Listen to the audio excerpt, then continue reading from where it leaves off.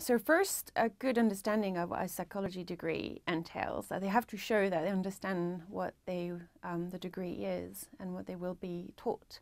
Again, it goes back to that science aspect. For example, that um, in at Birkbeck is taught as a science. So if they don't seem to be thinking much about the the idea that they will have to do experiments and then analyze them, think about the statistics, then you know it shows that um, they might not have understood fully what the degree is about.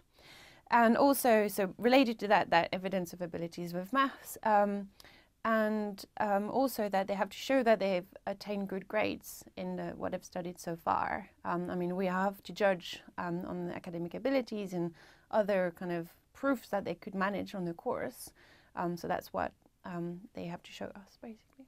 We're really interested in description of experience, whether work or during their studies um, that is relevant to the course. Um, so if you're going to mention some work experience that it's not psychology related, you have to make sure, like as a student, that you highlight why it's relevant, why are you talking about it. Um, so we really need to kind of only talk about things that are relevant to show that you can do the psychology degree. The rest is kind of um, not useful.